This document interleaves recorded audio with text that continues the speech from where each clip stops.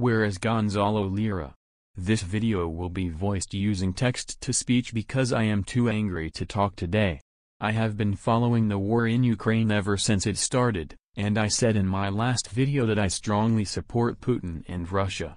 I strongly believe that the Western elites governing America, the EU, and NATO are an existential danger to humanity, and that Russia is the last realistic defense in Europe against the evil Western elites. At the start of the war in Ukraine, Gonzalo Lira has been doing great content about the war from the perspective of someone in Ukraine. However, his point of view was very favorable to Russia and very anti the Ukrainian government and anti-Zelensky, so he has become popular in Russia and among pro-Putin people in the West like myself.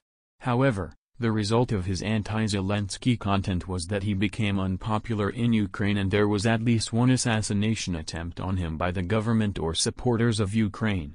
This caused Gonzalo Lira to have to hide underground. However, something very concerning has been happening with him. Gonzalo Lira has stopped posting content on YouTube, Twitter, and the other social media sites that he uses, and has been missing for multiple days. At this point there is a good chance that Gonzalo Lira has been killed by the Ukrainian government or by supporters of Ukraine.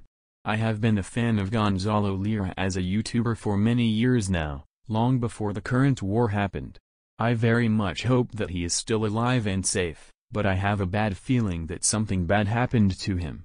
We don't know what happened to him yet, but there is a good chance that the worst has happened. At this point I have absolute contempt for anyone claiming that the Ukrainian side is fighting for freedom and democracy.